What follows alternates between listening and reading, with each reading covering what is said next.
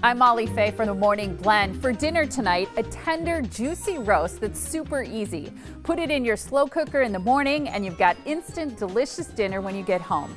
Go to SentryFoods.com for this mushroom slow cooker roast beef. Be sure to pick up your rump roast at your nearest Sentry where you will always find the best meat in town. Place one pound of sliced fresh mushrooms in the bottom of your crock pot and then set the roast on top. Sprinkle one envelope of onion soup mix over the beef and then pour one bottle of your favorite beer on top of that. Season with a little ground black pepper and set your slow cooker to low.